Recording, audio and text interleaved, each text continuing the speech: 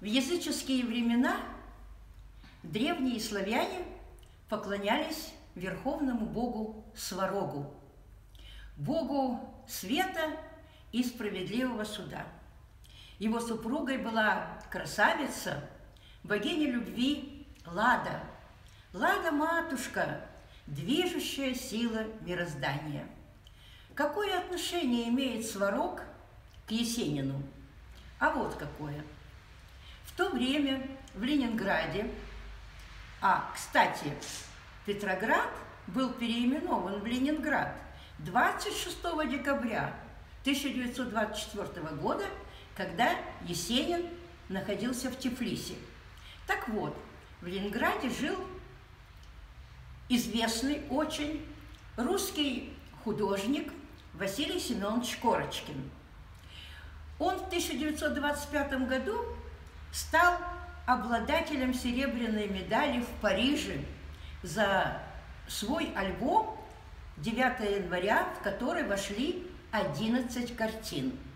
Так вот, когда он был студентом, ему надо было э, написать картину «Бог небесного огня Сварог». И она ему так удалась, что экзаменаторы даже пошутили. «Корочкин, ты что, в зеркало смотрел, когда я его писал? Точь-в-точь на тебя похож». И с того дня Корочкина и стали величать Сварог. Так вот, Сварог был лично знаком с Есениным. И они даже вместе планировали совместное выступление, потому что Сварог э, очень здорово играл на гитаре. И Есенин мечтал читать под его аккомпанемент. И вот 28 ранним-ранним утром, неизвестно от кого, узнав о смерти Есенина, Василий Семенович примчался в Англитер первым, еще до свидетелей и до Князева, и увидел Есенина без прикрас, то есть без грима нанесенного. Он мгновенно понял, что убит. Тело лежало у ног участкового, который огрызком карандаша корябал акт. Вы представляете, документ, на котором будут поставлены подписи свидетелей, нарисован, написан карандашом. Это же можно все стереть и написать все, что угодно. А Корочкин все скрупулезно нарисовал все детали. Ничто не ускользнуло, даже малейшая мелочь, от зоркого его глаза. Скрещенные ноги, чего никак не может быть у повешенного. Порезы на руках, ладонях, черные пятна на виске – это запекшаяся кровь, отсутствие высунутого языка, раз, разорванная, расхристанная одежда. Все говорило о жестокой борьбе и об убийстве, буквально кричало. Но еще он обратил внимание и зарисовал это, что у него были расстегнуты брюки, и они были даже приспущены. Такое впечатление, что его хотели изнасиловать. А еще он заметил пыль и кусочки ворса на одежде, лице и волосах. Складывалось впечатление, что до этого он был завернут в ковер. И странная поза. Правая рука была согнута, и поднято к шее. После Сварога вскоре появился Моисей Напельбаум и навел первый грим. И вот вопрос возникает, каким образом Моисей Напельбаум, живший в Москве, вдруг добрался до Ленинграда так быстро. Поезд идет сутки. Если он 27-го выехал, то он должен был быть 28-го вечером. Значит, убийца, истязавший Есенина, уже знал, что не отпустит его живым, и по телефону вызвал Напельбаума, который выехал не позднее 26 числа.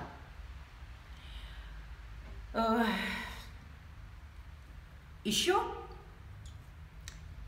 были свидетели, которые после этого грима пришли, и среди этих свидетелей были писатели Борис Лавренев и Николай Браун. Они не подписали акт, и когда надо было выносить тело, Николай Браун взял его под плечи, и, о ужас, голова опала, она не держалась. Это говорит о том, что были перебиты шейные позвонки. Книге Мельгунова «Красный террор в России» он упоминает об этих специальных удавках, которые использовали в ЧК для перелома шейных позвонков.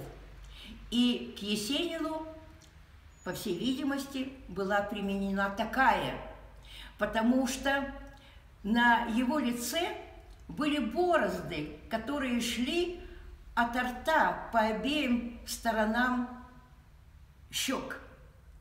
Это говорит о том, что Есенин хотел правой рукой освободиться от этой удавки, но она попала ему в рот, и поэтому борозды шли по щекам в сторону затылка. А Напельбаум потом эти борозды загримировал. Николай Браун позже сказал, что Есенин был умучен. Теперь можно не сомневаться в словах Варвары Васильевой, которая подтвердила догадку Сварога, что он был завернут в ковер. Варвара Васильевна, Васильева, она работала уборщицей как раз в те дни. И она заявила, уже будучи старушкой, что с 24 по 28 она не видела Есенина, потому что она обслуживала, за ней был закреплен номер пять. И ей, в общем-то, не к чему было врать в ее таком уже преклонном возрасте, но, тем не менее, можно было бы усомниться в ее словах, если бы 28 декабря со сцены МХАТа Качалов, зачитавший некролог Льва Троцкого, произнес дату смерти 27 декабря. Она прозвучала так. Вот короткая выдержка из некролога. Мы потеряли Есенина, такого прекрасного поэта, такого свежего, такого настоящего, и как трагически потеряли. Он ушел сам, ушел из жизни, без крикливой обиды, без ноты протеста, не хлопнув дверью, а тихо прикрыв ее рукою, из которой сочилась кровь. «Больше не могу, сказал 27 декабря побежденный жизнью поэт. Сказал без вызова и упрека. Только теперь, после 27 декабря, можем мы все до конца оценить интимную искренность есенинской лирики, где каждая почти строчка написана кровью пораненных жил, сорвалась с обрыва, незащищенная человеческое дитя. Иуда. Вот Иуда тоже предал на смерть Иисуса Христа, целуя его. Вот так и Троцкий отдал убийцам на растерзание Есенина, а потом в своем иезуитском некрологе вроде бы как плачет крокодильями слезами. Так в чем же причина такой явной нестыковки? Газеты пишут, что смерть наступила 28-го, а Троцкий заявляет 27-го. А очень просто. Дело в том, что Троцкий получил уведомление от своего личного секретаря Блюмкина, что приговор приведен в исполнение. И память Троцкого четко зафиксировала эту дату смерти. И он автоматически написал ее в некрологе. И этим подтверждаются слова Варвары Васильевой, которая сказала, что она видела, как 27-го по темному коридору, неведомо откуда, несли человека, завернутого в ковер. А вот эту дату 28 нельзя было изменить этим фальсификатором, потому что она связана э, с письмом, якобы написанным Есениным и врученному, и врученное э, Эрлиху 27 27 -го. Это письмо сфабриковал Блюмкин, э, подделав почерк Есенина.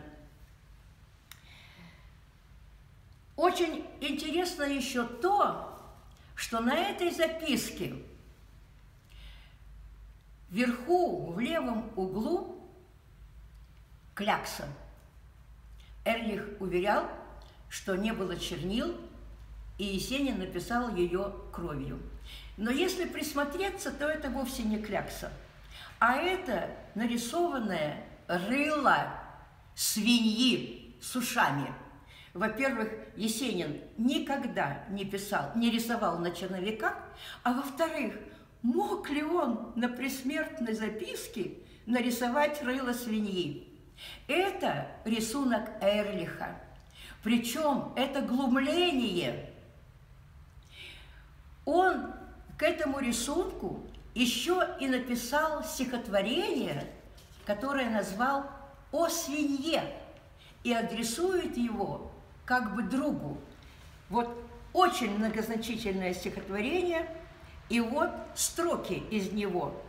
Он обращается к этой свинье со словом «друг». «Пойми, мой друг, святые именины твои отвык справлять наш бедный век.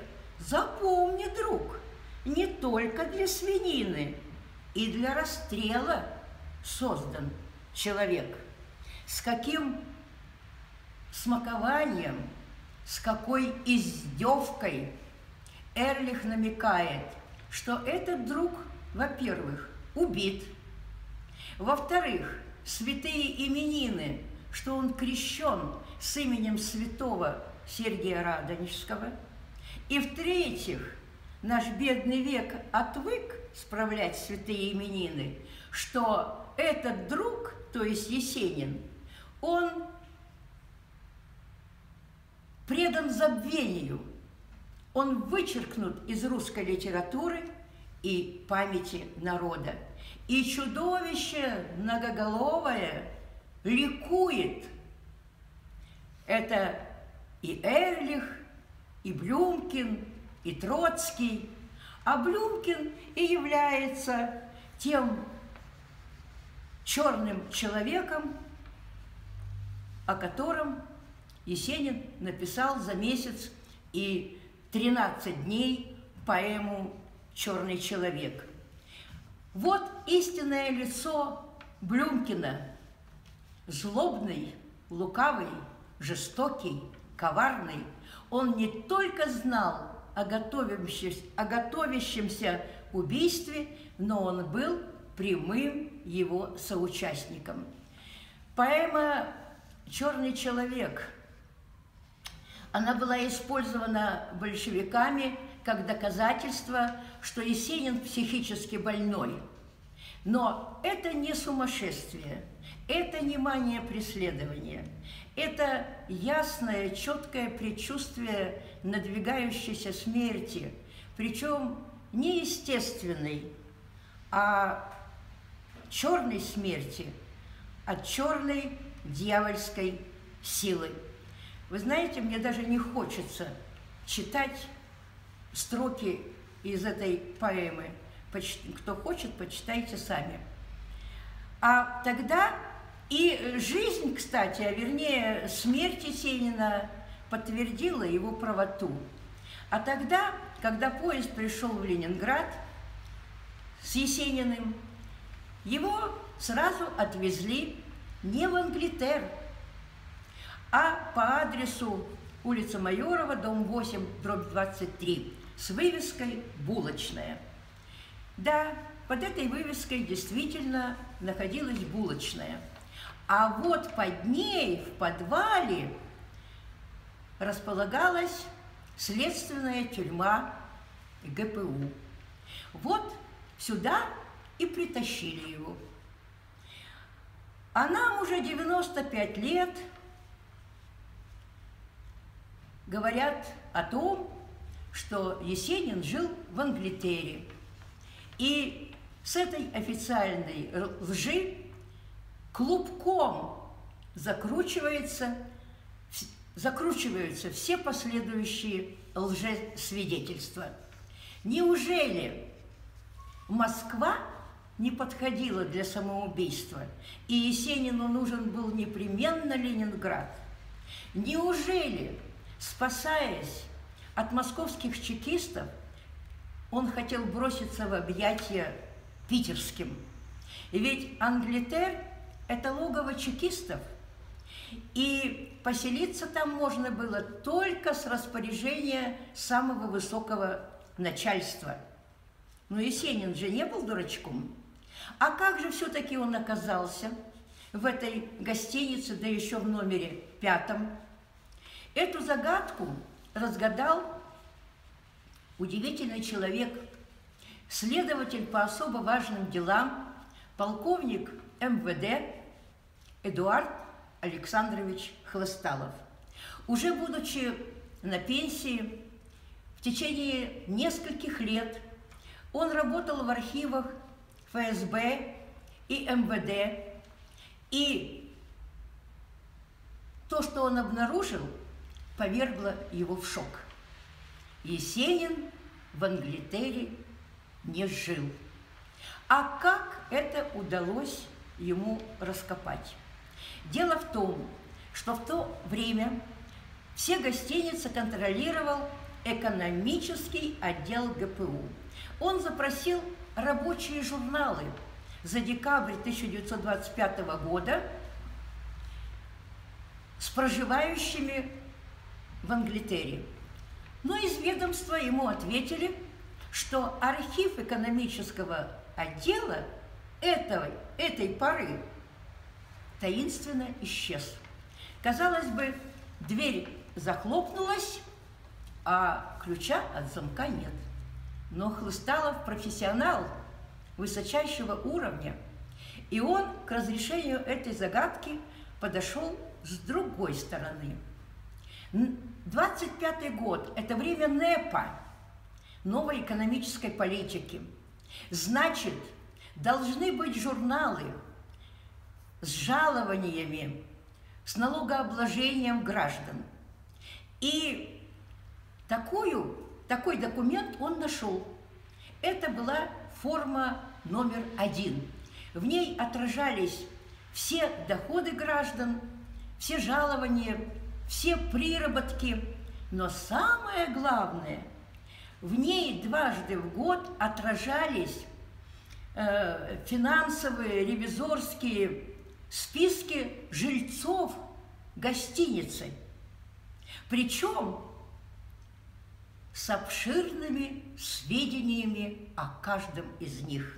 И вот когда ему попала в руки форма-1 гостиница «Англитер» за декабрь 25 год, он выяснил, что проживало 150 человек, плюс 50 обслуживающего персонала.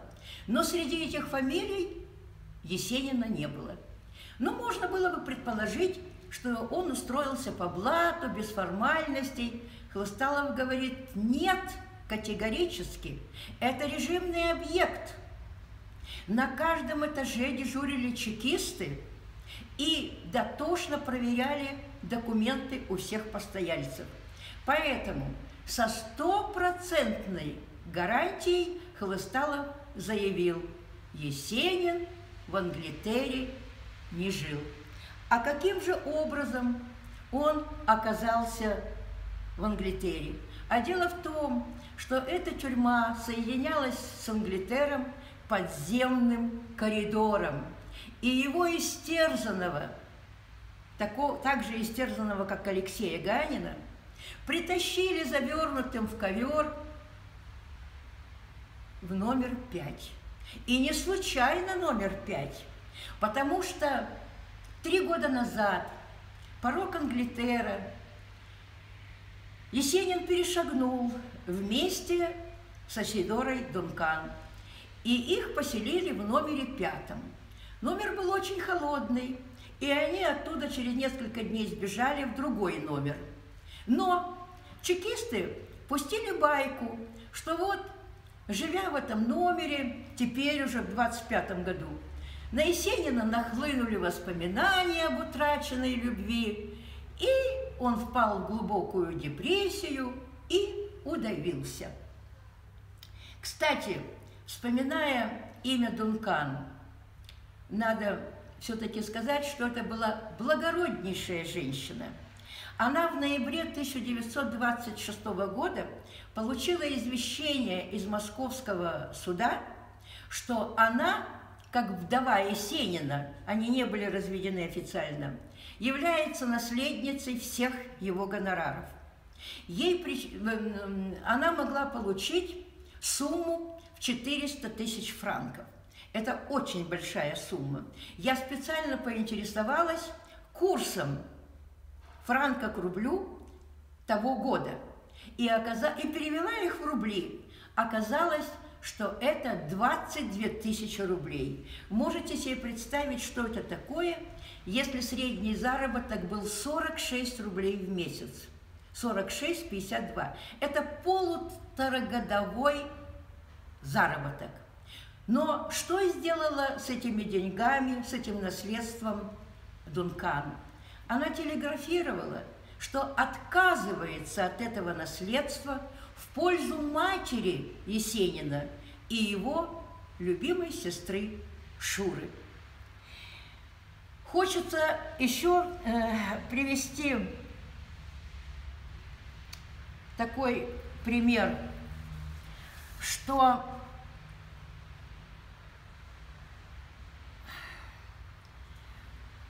в тот день, когда там был участковый 28-го, туда еще пришла бригада уголовного розыска под руководством Федора Иванова, специалиста, профессионала. Но этот протокол исчез. Зато протокол Горбова остался в архиве, а сам Горбов исчез в неизвестном направлении. Кстати, я обыскалась в поисках фотографии висящего Есенина в комнате на трубе. Нет такой фотографии. И действительно, ее найти невозможно, ее нету. И никто из свидетелей его не видел повешенным. И сварог. Все видели его лежащим на полу. Да его и не вешал никто. Его принесли и бросили на пол. Есть фотографии трупа, лежащего на полу, на диване. Есть э, фотографии в гробу. Есть фотографии даже комнаты, но комнаты с висящим Есениным нет, э, фотографии нет. И никто никогда из врачей не поверил бы, что Есенин был повешен, если бы не увидел, что опорожнился мочевой пузырь. Вот на том месте, где говорили, что он повешен, было сухо. А э, у повешенного всегда расслабляются все мышцы и все внутренние органы. Рука должна была бы упасть. Убийцы пытались эту руку выровнять, опустить, и с этой целью даже разрезали мускулы, но у них ничего не вышло. Таким образом, то, что он был повешен, это все опять же со слов Эрлиха и коменданта гостиницы Назарова, который открыл этот номер 28 утром и даже не заглянул в этот номер, но подписал документ, что он видел его повешенным. И еще Устинов, так называемый друг, поэт, друг Есенина, тоже подписал, что он видел его повешенным, но всех их ждала, ждала и постигла э, мрачная участь. Назаров выпал из окна вскоре, наверное, помогли. Устинов повесился, наверное, тоже помогли. И могло бы пролить свет на истинную причину смерти, мог бы э, пролить свет главный врач Обуховки, куда в морг привезли Есенина. Это Виктор Романович э, Штюлер. Но удивительным образом он скоропостижно умер. Хорошо, можно было бы взять архив этой Обуховки, но архив декабря 25 был уничтожен. В конце концов, можно было бы установить истинную причину смерти Есенина, сделав эксгумацию трупа.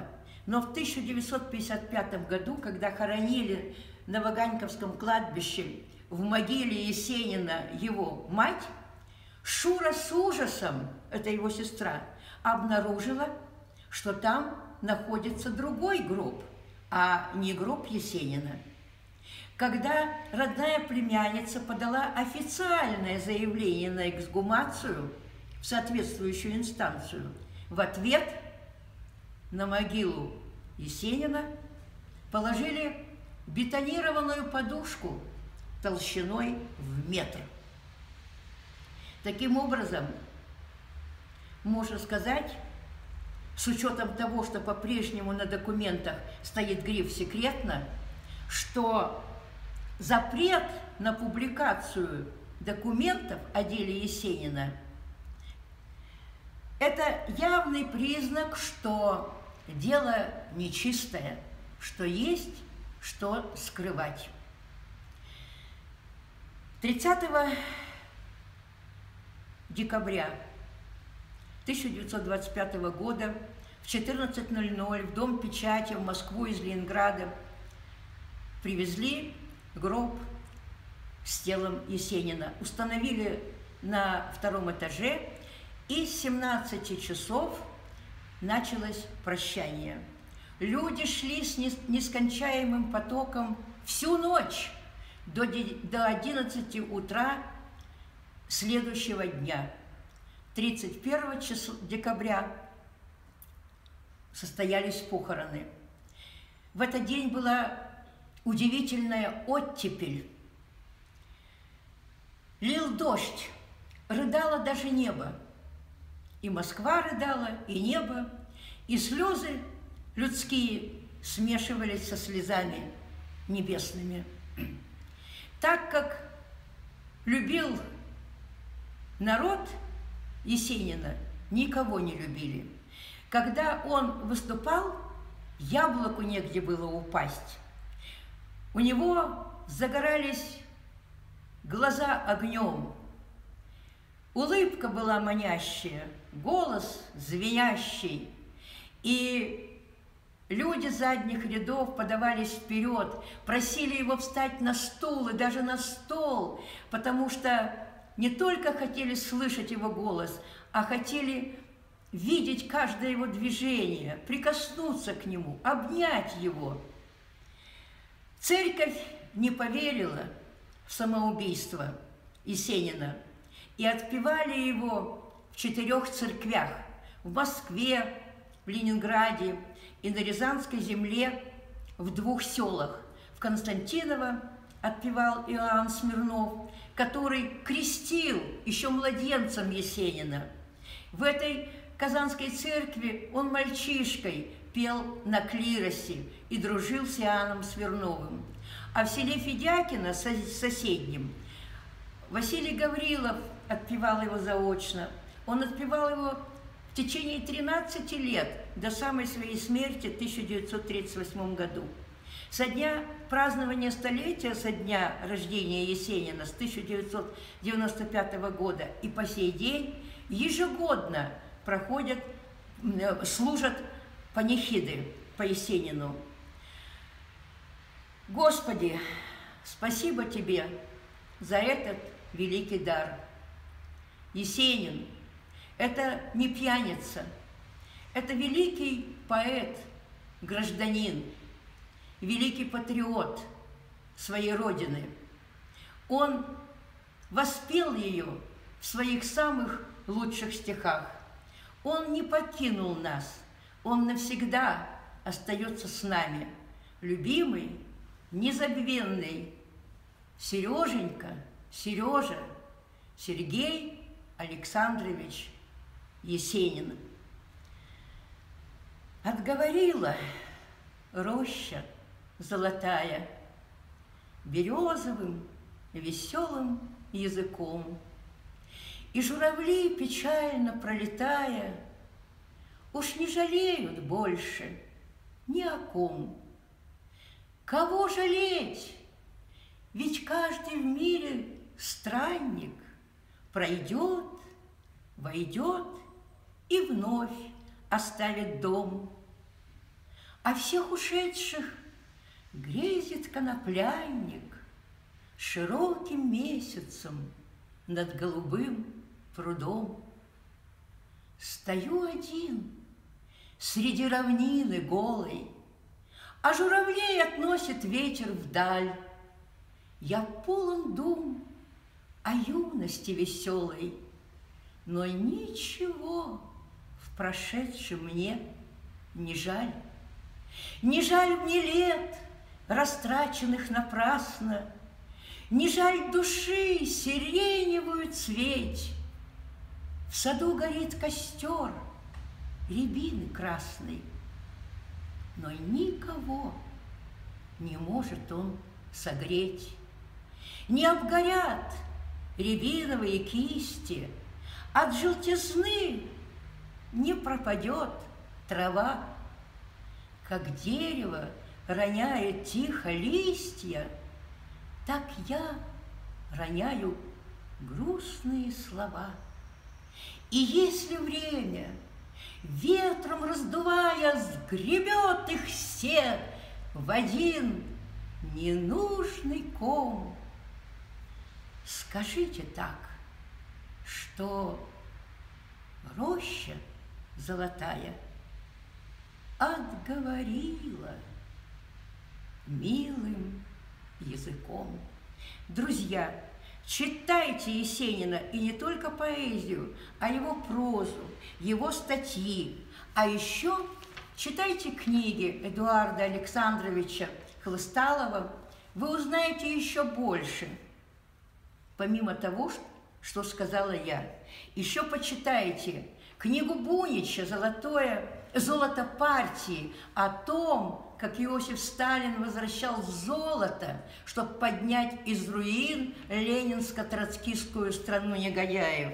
И американского писателя Бертрана Патенауда книгу «Большое шоу Болл Энди», как простые американцы спасали русских во время Голодомора.